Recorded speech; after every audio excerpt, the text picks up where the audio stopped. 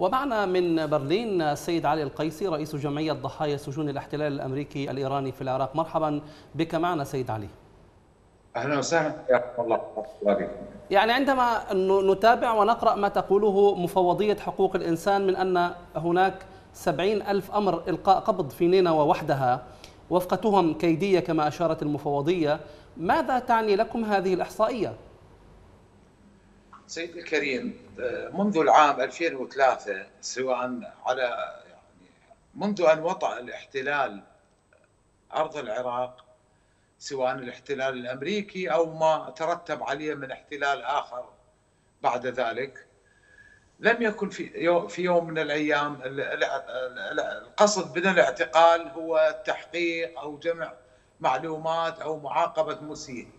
القصد والأصل في الاعتقال في العراق هو معاقبة وقتل وترهيب وتعذيب وإخفاء قسري لأكبر مجموعة معينة من الناس.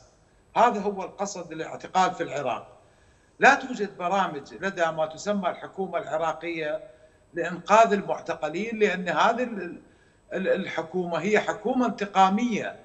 الأجهزة الأمنية التي تعمل فيها مخترقة من الميليشيات كذلك هي أجهزة انتقامية. القصد منها آه، قتل الناس إذلالهم تعذيبهم إخفاءهم قسرا منعهم من من يعني تقييد حريتهم بأي وسيلة كانت.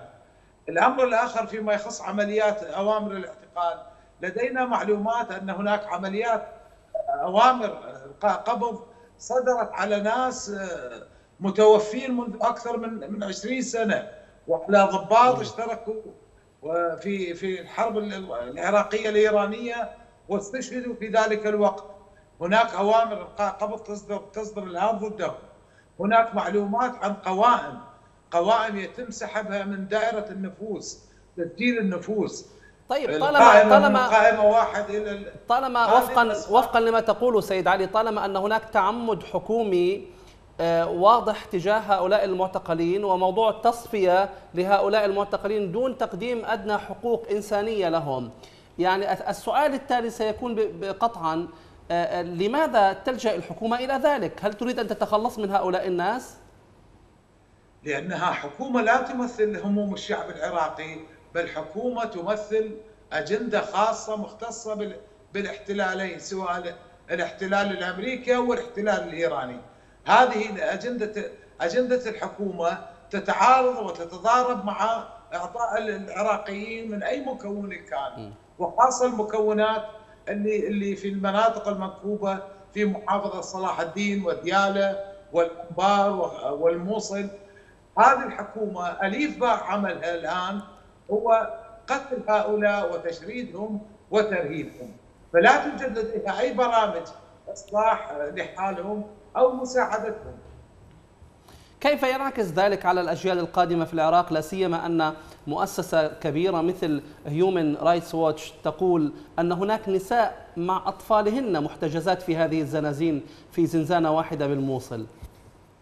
سيدي لدينا قصص واتصلنا مع هيومن رايتس واتش ومنظمات أخرى وأكدنا لهم أن هنالك أطفال الآن في زنازين بلغ يعني بلغ عمره ثلاث سنوات أو أربع سنوات أو راح يصل إلى خمس سنوات. هذا الطفل حتى الآن يعني لا يست... لا حين تحدث عن عن شجرة أو عصفور أو تحدث عن آه، سيارة لا يعرف معنى هذه الكلمات. هذا الطفل نشأ نشأ في الزنزانه هذه هي الكارثة. ولذلك الأمر في العراق يعني أما ما يخص التصريحات اللي تصدر من ما تسمى آه، أعضاء البرلمان أو هيئة حقوق الإنسان فأنا أعتقد بأنه هذه يعني لا فائدة منها والقصد منها هو نزاعات وتسجيل مواقف وتسجيل نعم.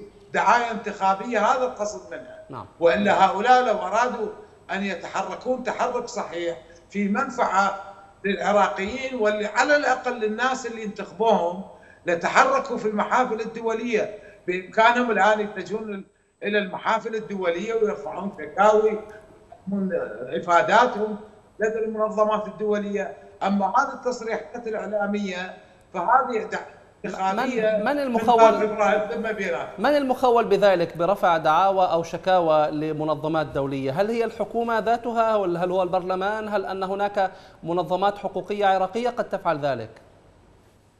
المنظمات الحقوقية العراقية فعلت وتفعل ذلك كل يوم. لكن الأمر الآن منوط بال... بال... آه، في في قرار من مجلس الأمن الدولي أو الأمم المتحدة لتعيين مقرر خاص آه، لمتابعة قضايا المعتقلين. وتعيين مقرر خاص من الأمم المتحدة أو مجلس الامن الدولي لا يتم إلا عن طريق دولة. لازم إحدى الدول تتقدم في هذا الأمر.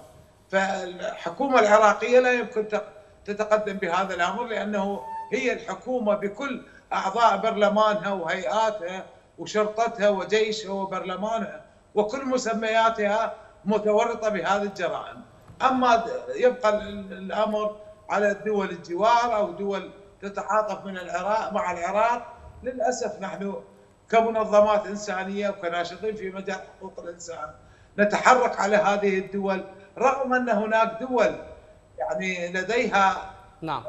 مصالح تتقاطع معنا في هذا المجال بسبب أن من يلغ بدماء العراقيين الآن هي جهات أصبح شرها مستطير على دول الجوار. وصلت الفكرة. قدرنا نلمس ذلك. وصلت الفكرة أستاذ علي القيسي رئيس جمعية ضحايا سجون الاحتلال الأمريكي والإيراني. كنت معنا من برلين.